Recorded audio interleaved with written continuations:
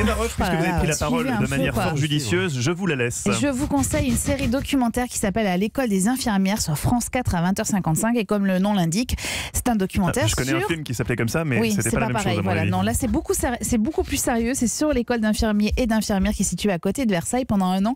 Le réalisateur euh, Guillaume Viard a suivi six étudiants. Ils ont entre 19 et 35 ans. Ce sont des personnes soit en reconversion professionnelle ou de jeunes gens qui ont choisi cette profession par vocation, comme Joy. Elle a 23 ans. Qui tu poses question, qui est dans le soin, il l'a pas fait par hasard. C'est pas possible. On répond tous à, une histoire, à un besoin, à un manque, à une envie aussi qui nous vient de quand on était enfant. Donc finalement, euh, c'est les métiers comme ça du soin, c'est un peu quelque chose de viscéral. Ça vient, ça vient de nous, mais ça vient de l'intérieur de nous.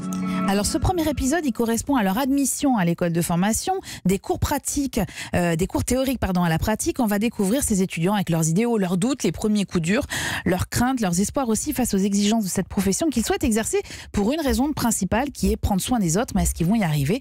Alors avec pudeur, les six étudiants se livrent face caméra et de toute évidence, ils feront naître des vocations auprès des téléspectateurs. Alors attention toutefois, Lisa par exemple, elle avait oublié un petit détail. J'ai peur du sang. Je sais pas du tout s'il faut que je leur dise ou pas. Après, elles vont peut-être se dire qu'elles vont se demander ce que je fais là. Oui, forcément, avoir peur du sang quand on veut faire infirmière, c'est un peu plus compliqué. Alors, c'est une série documentaire en quatre épisodes, instructive et ludique, qui est à découvrir sur France 4. Une série qui a un mérite, entre autres, qui prend le temps de comprendre le parcours de ses témoins. Et c'est à voir à 20h55.